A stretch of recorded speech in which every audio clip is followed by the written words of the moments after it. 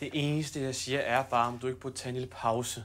Du har siddet herinde i otte timer. Nico, jeg har 100 paragrafer, som jeg ikke har læst op på endnu, og jeg skal aflevere den her opgave om tre dage. Altså, jeg har super travlt, så lad være med at presse mig. Jamen, det holder jo ikke. Du kan ikke køre på så hårdt. Du røven, du aner ikke, hvad det er, jeg går igennem. Hvis jeg skal have den praktikplads i London, så skal jeg 12 for den her opgave. Og fordi du ikke har nogen ambitioner for dig selv, så skal du ikke ødelægge det for mig. Jeg vil sgu da heller ikke ødelægge noget. Og jeg har bare brug for at koncentrere mig. Ikke? Så vil du ikke bare skride og lade mig være i fred?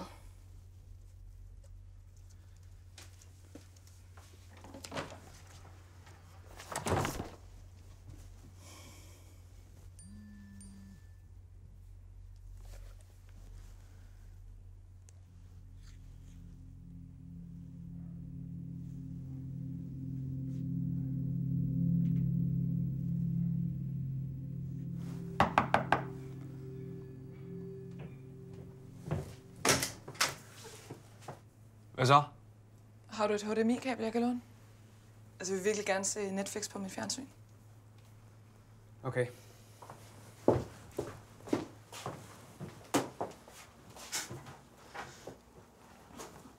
Hvor har du den fra? Det vil du ikke vide.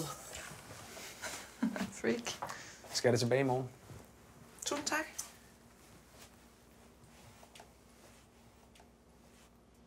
Var der andet? Øhm, mm, har du noget tandpasta, som jeg kan låne? Ligner en, der bruger tandpasta. To sekunder.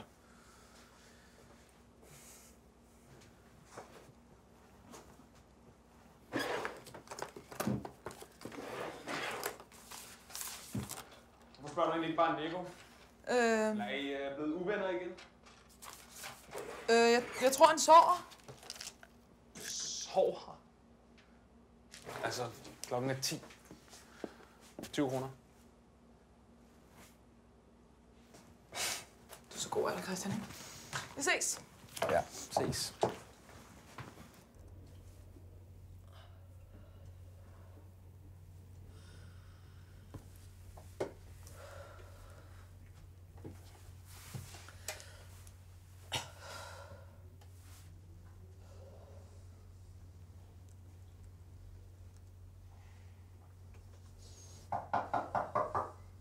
Kom ind.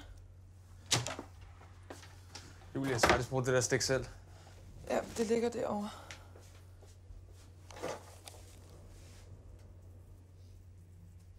Hvad fanden sker der med dig? Ikke noget.